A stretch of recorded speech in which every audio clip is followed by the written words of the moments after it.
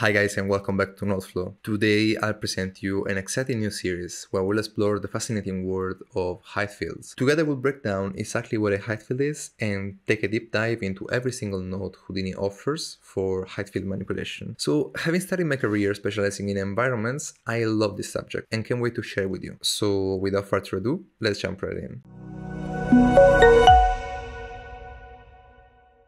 In Houdini I want to start by creating a geonode and go inside. Here I will create an HF node. It's just a short way to refer to height field nodes and I'll drop it. Over here you can see something that looks like a plane, although it's not really a plane. If I press W to visualize the wireframe, we don't have any geometry because this is technically a 2D volume and you can check it over here. So you see it's made of voxels and over here you have information only on two axes out of three. The reason why we use height fields is because they allow for better manipulations of noises and they are easier to compute. They're plane with lots of geometry. The most important properties of this node are the size, of course. You can change it over here. If you don't see this gizmo, you have to go into the viewport and press enter and you will be able to change the size manually. And then you have a uniform scale. It will scale uniformly on both the axes.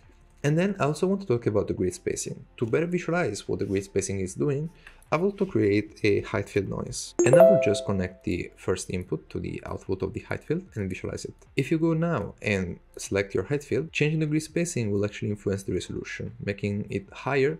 You see you don't have enough resolution for the noise to be displayed.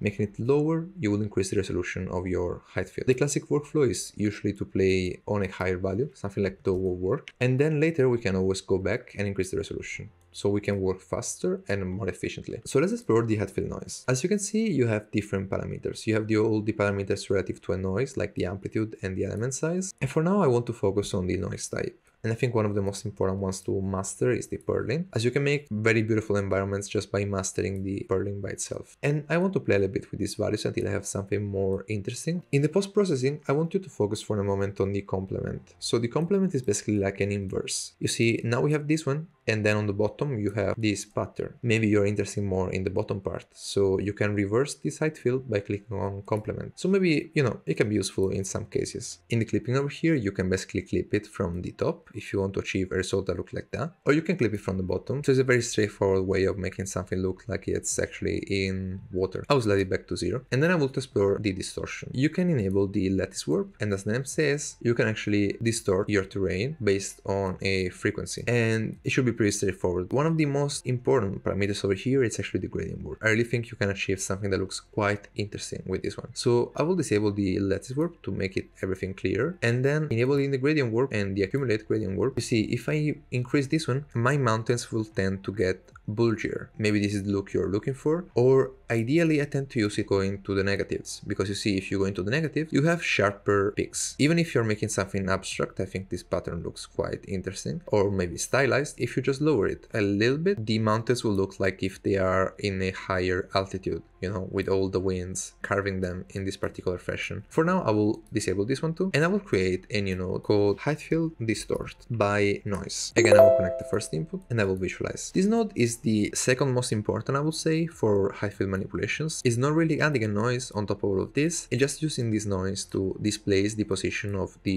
pre-existing one. So now we're having a curl noise, we can change the amplitude and maybe the element size should be bigger. So as you can see, we are not adding an extra layer of noise of top, we are just distorting the pre-existing one. And again, the you have the same controls that you have with any kind of noise. So if you want something to look a little bit more rocky, you can increase the roughness. You could change the noise type to simplex, maybe having different results. And then I want to show you the height field clip. You should remember we play with the clip into the height field noise. But what the height field clip allows you is also to make a better blend between the clip parts and the parts that will not be clipped. So if you change the soft clip scale, this is the result that we had before in the height field noise. But here you have a soft clip scale. This is very useful if you want to actually lower some parts without making them look too weird. So I will exaggerate the noise over here, changing the amplitude so the effect will be more visible. So now you have something that looks more interesting and more diverse. Although you see our height field is now red and no matter what we create later, like a height field noise and connect it, you still see your terrain red. So what you're seeing or hearing in red is the mask layer. Since the start, we had two different layers, the height that will store all the deformation that we're making, and then you have a mask layer that will store a mask for you that you can use to isolate certain effects. And you can plug a mask into these second inputs over here. So for now, what I want to use is in height field mask clear. So as the name implies, this will just delete your mask. And so now you have something that looks a little bit more like that.